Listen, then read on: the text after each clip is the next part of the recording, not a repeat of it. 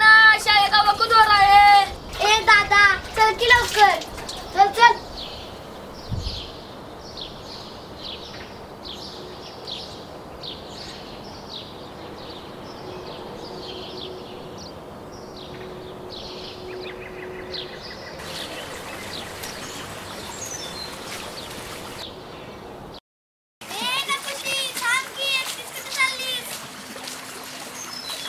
चला चला लवकर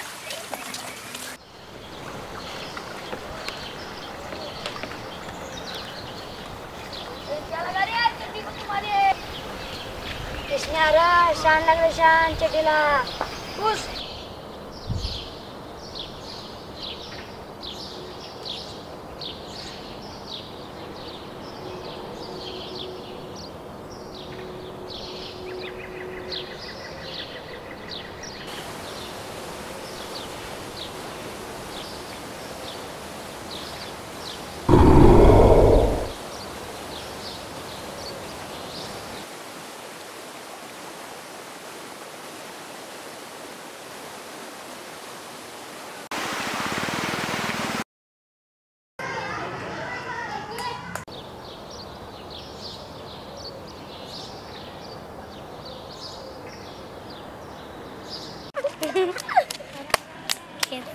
अरे किसिया कल देसाई सरांनी तुला लिंबू आणायला सांगितला होता काय झालं बोंबाला किस्सा ना म्या तर काय द्या.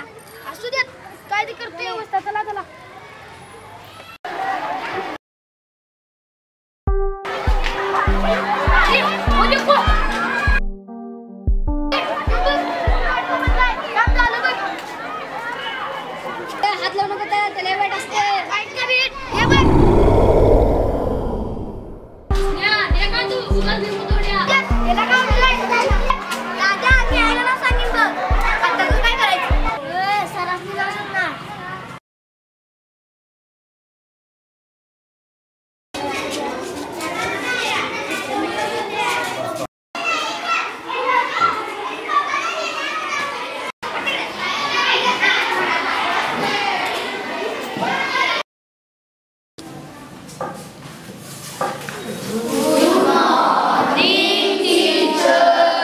मॉर्निंग एव्हरीबडी सिट डाऊन सगळे आहेत का?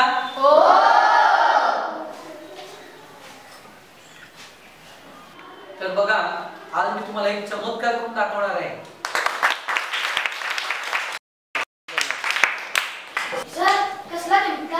चमत्कार? आता बघा तुम्ही कसला चमत्कार आहे तो. तुला मी काल कृष्ण लिंबू आणायला सांगितलं होतं आणलास. आण इकडे घेऊन ये. हा चाकू घे आणि कापून दाखव सगळ्यांना.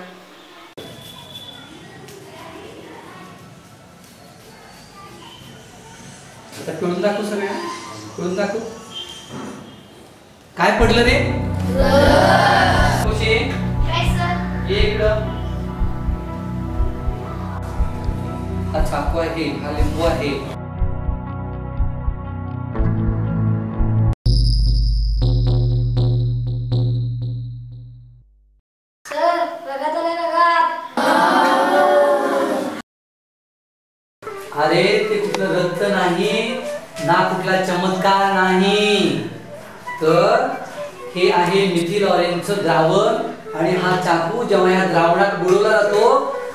लिंबू जेव्हा आपण कापतो तेव्हा त्यांची रासायनिक अभिक्रिया होऊन लाल रंग बाहेर पडतो. आणि हे गुंडू बुवा आपल्याला सांगतात की तुमच्यावर केलेली करणी आहे त्या लिंबू पिळल्यानंतर त्याच्यातून निघून जाते. तर हा चमत्कार नाही. हे आहे विज्ञान. काय समजलं?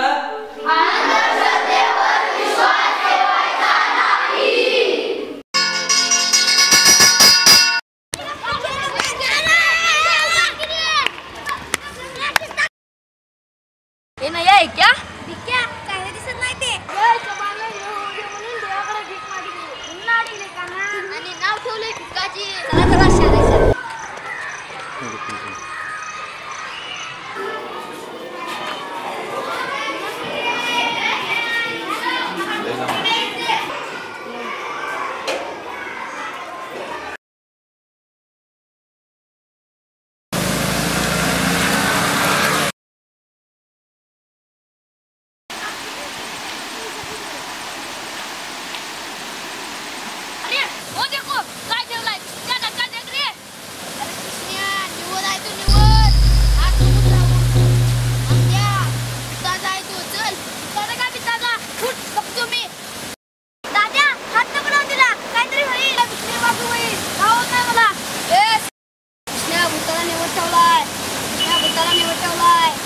टाक नाही तर भूत लागणार. तुलाच भूत लागेल होईल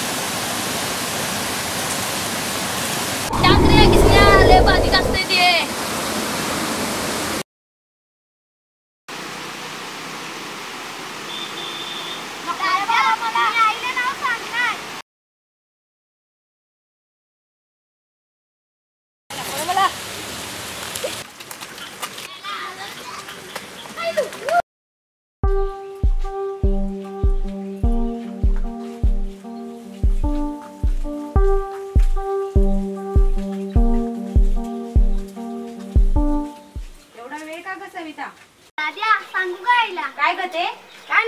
नाही त्या वड्यावरती पाणी बघायला गेलता म्हणून हे झाला. त्या स्मशान वड्यावर होय आई. तिथं कशाला थांबला सा ती जागा बाधिक आहे. तिथं थांबायचं नाही सरळ घरला यायचं.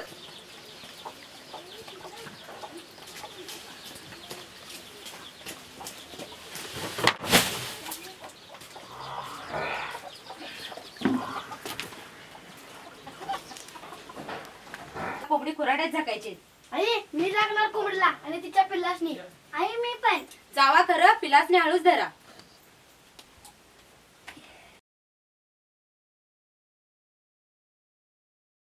खा जरास म्हणजे बरं वाटेल मला कडू लागते.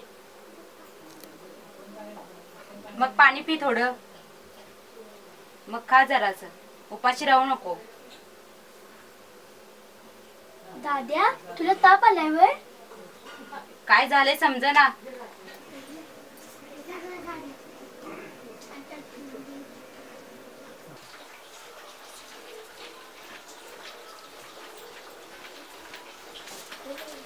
आई दादाला बरं वाटते ना बघ नाही बाळा.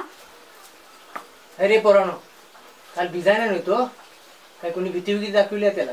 काका भिजाय नाही तो काल वड्यावरला निवद खाला निवद होय निवत खाया निवत. मी त्याला सांगितो निवद खाऊ नको भूत लागल ऐका नाही त्यानं माझं. खरं माझ्या देवा तरी मी दुपारपासून मनात म्हणतच होते याचं चाल चलन काय ठीक दिसत नाही. काल काय ग मला सांगितलं नाहीस? दाद्या मारेल म्हणून. तू घे बस. तिला काय अजिबात बोलू नकोस. माझ्याकडे हाय चाली उपाय. तिला लागीर झाले लागीर. ओवाला बोलवून घेतो मी.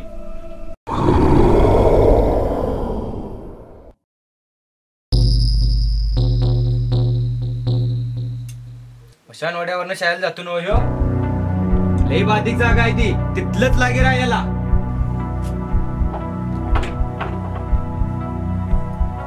बुवा काल सांजला येताना स्मशान वड्यावरचा निवत खालाय त्यानं. काय बुद्धी सुचली की देवाला माहीत? अरे अरे, अरे, बरोबरच आहे तो वड्यावरचा झुटिंगच आहे आता काय करायचं बुवा? ह्यो गोवा आहे तुम्ही बिनगोर राहा. मी सांगतोय तेवढं करा. उठ. लई झुटिंग बघितल्यात मी. ये.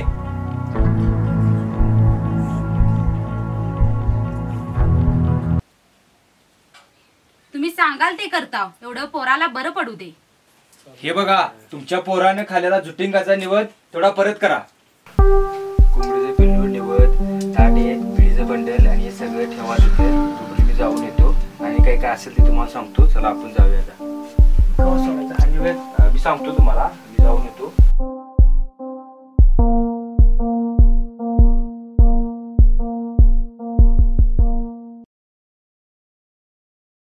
हे सगळं ठीक आहे पण काळ्या कोंबडीचं पिल्लू कुठं आहे? हाय की खुरड्यात? घेतो की. या अंगावर उतरून घ्या आणि मग पिल्ले घ्या. बाबा पिल्लं कशाला? तुझ्या अंगावर सोडायचं आहे. सांजेचा ओकोदा आहे. आत्ताच सोडून या हे. पिल्ल्याला पिल्ल्याला सोडायला नाही. तू बस खाली किती ताकदी जाईल मला माहीत आहे. बस खाली.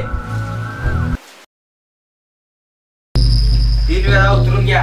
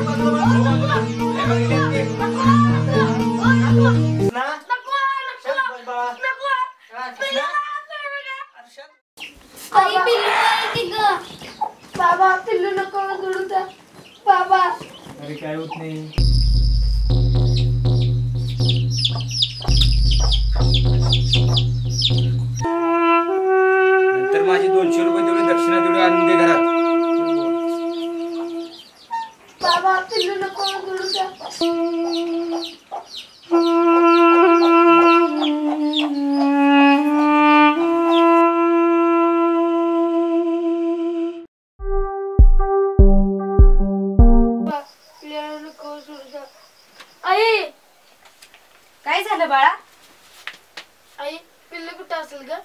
काय नाही झोप बाळा. किसना किसना किसना किसना ए किसना सगळे दादा कुठे गेला ग? मला काय माहिती? कुठे गेला असलो आपल्या किसना? कसं पोरा बघितलंस तू? नाटकं करीत फिरते येईल येईल थोड्या वेळाने येईल काय चिंता करू नकोस तू. कुठे गेलतास माझ्या राजा? डॉक्टर साहेब कुठे गावला तुम्हाला यो ते कशाला पिल्लू? सोड जाते घराची बाहेर. त्याचं काय झालं ताई? ही पोरं मला सकाळी स्मशान ओढ्यावर दिसली. मी गाडी थांबवली बघतोय तर पोरांच्या हातात कोंबडीचं पिल्लू. चौकशी केल्यावर मला किसण्यानं रात्रीच्या उताराविषयी सांगितलं. तो म्हणाला डॉक्टर साहेब मला लागेर बिगेर काय नाही. मला ताप भरलाय. मला इंजेक्शन करून गोळ्या द्या म्हणून मी त्याला दवाखान्यात घेऊन आलो आणि तुम्हाला सांगावं म्हणून त्याच्यासोबत आलो. अहो शिरपा दादा असं काय करताय? अहो असं भूत बीत काय नसतं म्हणत. त्या बुवानं तुम्हाला गंडवलंय रात्री. अहो साधा ताप भरलाय किसण्याला. उतारा सोडून ताप गेला असता तर आम्ही दवाखाना कशाला काढला असतं मग? तुमचा पोरगा धाडशी आणि हुशार आहे. त्याचं कौतुक करा खरं तर. डॉक्टर साहेब खरंच आमचं चुकलं. परत त्या बुवाच्या नादाला लागणार नाही. हो तू होते ज्याचा दीप तेवता उजळाया अंधार. तू अज्ञानाचे पाश तोडून हो ज्ञानाची धार.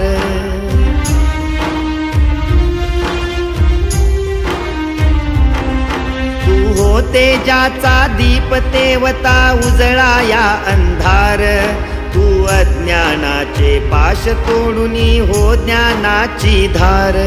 या छातीवरती निर्भिडतेने झेल विखारी वार. तू चाल रे तू चाल रे तू चाल रे.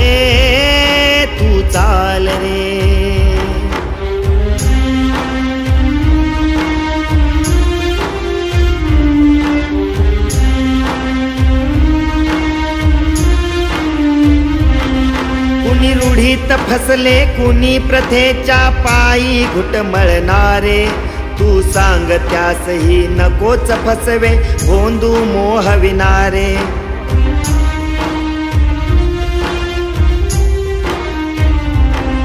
कुणी रूढीत फसले कुणी प्रथेच्या पायी घुटमळणारे तू सांग त्यासही नकोच फसवे गोंदू मोहविणारे हे विवेकतेची मशाल हाती देत राहा तू नारे तू चाल रे.